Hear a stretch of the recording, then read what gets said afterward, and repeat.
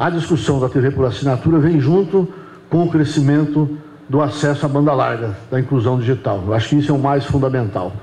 O avanço que nós temos verificado hoje no crescimento da TV por assinatura é crescente.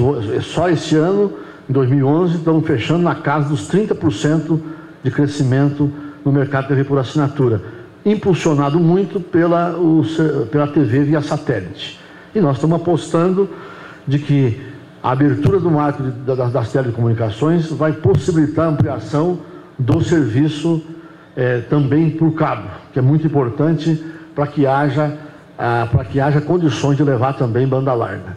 Eu acho que é um momento importante. Nós estamos trabalhando é, junto com a Ancine.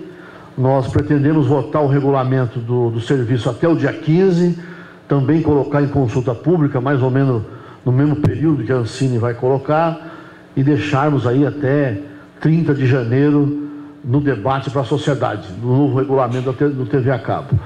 E é um regulamento que vai vir coroar todo esse trabalho feito pelo Congresso Nacional, pelas diversas entidades que promoveram e procuraram destravar esse mercado.